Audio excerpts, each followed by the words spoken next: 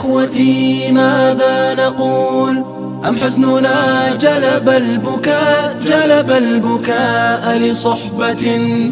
أهل المحبة والإخاء عاشوا على هدي النبي يرجون رحمن السماء.